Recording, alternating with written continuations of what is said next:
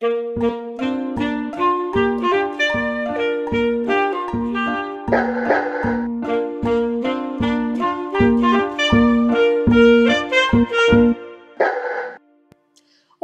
¿qué tal? Espero que muy bien. Os doy la bienvenida un día más a mi canal. Hoy, adelante con Mariami. Hoy os quiero hablar de perfumes que me han hecho feliz últimamente. Me he puesto a sacarlos de las vitrinas y del armario.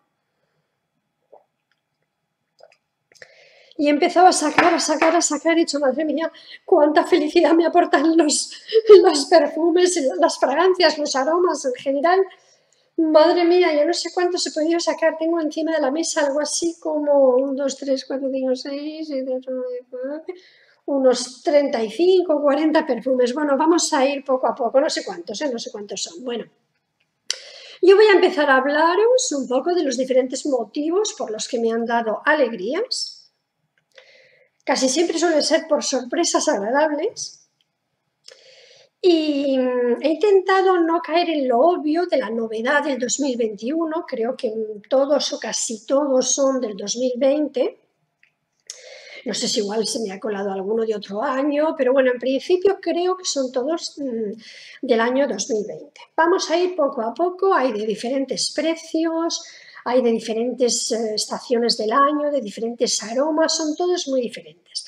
No voy a hacer una reseña en estos momentos, en esta serie de vídeos de cada uno, porque cada uno tendrá, tiene ya o tendrá, algunos me falta, he visto que me faltan algunas reseñas, eh, poco a poco eh, irán saliendo todas y cada una de las reseñas, Dios mediante. Mm, así que en estos vídeos lo que intento hacer es mostraros una pequeña recopilación de perfumes que por un motivo u otro me han hecho feliz y creo que lo bueno hay que compartirlo porque mejor sabe. Vamos pues a por el eh, primer perfume, me voy a poner gafas de ver para poder leer bien la información de la caja.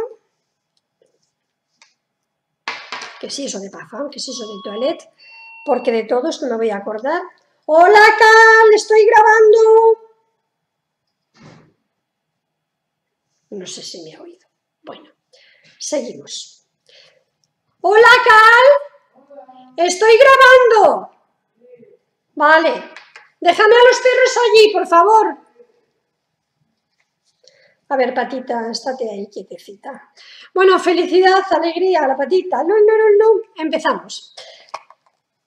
Me parece que voy a ir de la Z a la A, porque los he puesto los de la A allá lejos y aquí me ha tocado, pues este, por ejemplo. Valentino, Botse Viva. Valentino ya sabéis que es una empresa, una marca, una firma de fragancias que me parece que tiene de vez en cuando unos perfumes deliciosos. Este me pareció ideal con las típicas tachuelas de Valentino, pero en vez de hacia afuera, hacia adentro en los laterales. Me ha parecido un diseño como muy diferente, muy de estilo Lady Gaga. Me ha gustado mucho, mucho. Me parece una fragancia muy alegre, muy vivaz. Es muy bonita esta fragancia, por algo se llama Boche Viva.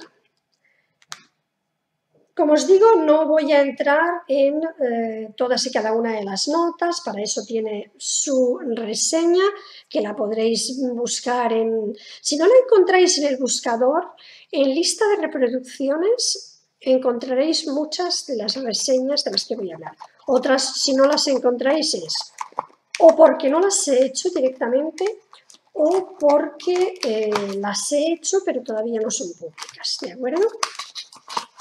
Bien, pues esta me dio una gran alegría porque, bueno, la compré a finales del año 2020. Me pareció como muy positiva, estas fragancias que te alegran la vida.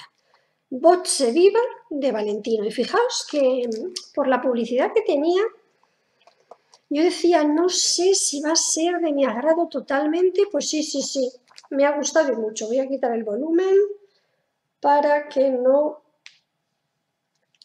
me manden WhatsApps durante la grabación. Seguimos. Otra que me hizo, bueno, me hizo gracia el envase, me pareció mona.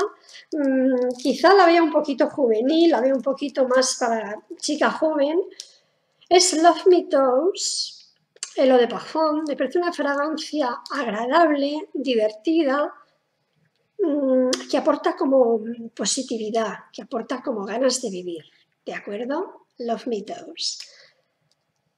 Quiéreme, quiéreme, el osito de Toes. Em, insisto, cada una es por un motivo diferente, ¿de acuerdo? Pero bueno, Love Me Toes, digamos que me alegró pues el osito, la forma del tarro, el frasco no os lo he enseñado, pero bueno, es el osito típico de Toes. Lo que pasa es que estas fragancias, ¿sabéis por qué me da un poquito de rabia? Porque salen como el plástico está cerrado por el lateral, hay que romper el lateral para sacarla porque luego abren por arriba, con lo cual mm, luego me cuesta, Dios y ayuda, poner eh, la cajita en su sitio. ¿De acuerdo? Aquí está, pulverizador, aquí escondido, como con el colgante, os enseñé la chiquitina. Me pareció muy graciosa la botella, muy significativa de la marca Toast y bueno, me, hizo una gracia, no sé, me, resultó divertida. Aquellas eh, fragancias que de alguna manera te hacen, eh, bueno, esbozar una sonrisa por lo menos. Seguimos. Bien, esta, es otro motivo de alegría. Rituals, que no había comprado nunca en nada en esta firma, Rituals. El otro día me dio como un brote y me compré media tienda. Este sería Eclat, como veis ya lo he empezado a utilizar.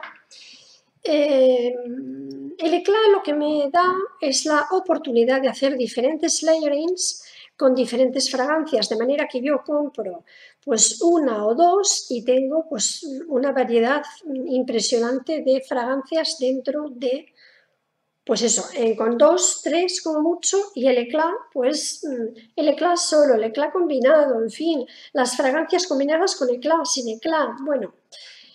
El eclat, mm, o el eclat, mejor dicho, el eclat todo el rato, el eclat em, de Rituals me ha gustado, Mm, quizá, si he de ser sincera, tiene menor longevidad que el eh, Touche de Parfum de Dior, que también os lo enseñé recientemente y que también me dio una alegría, pero bueno, es una alegría un poquito de hace tiempo y esto ha sido para mí una alegría mm, relativamente actual, ¿verdad? Porque como no había comprado nunca nada de esta firma, bueno, pues me ha, me ha hecho como una ilusión. Las fragancias de esta firma, las que he olido yo hasta ahora, me parece que tienen unos aromas como muy bonitos, como muy... Mm, como un poquito diferentes, como que buscan ser originales. Mm, la pega de los que he probado hasta ahora es la longevidad. En mi piel tienen un desarrollo lento, eh, o sea, al revés rápido, lo diré, como que acaba pronto toda la supuesta pirámide olfativa. Es una pirámide olfativa, mm, yo diría rápida, rápida en el sentido de que salen las notas de salida, de inmediato casi ya está saliendo el corazón y cuando no te quieres dar ni cuenta tienes las maderas y las notas de fondo, los almizcles, tal, encima. Entonces quizá tenga un desarrollo demasiado rápido para lo que yo estoy acostumbrada. Me gustan los perfumes con un desarrollo lento, que ir disfrutando cada fase, cada etapa y en estas se disfruta el momento, pero luego mm, se me hace demasiado breve.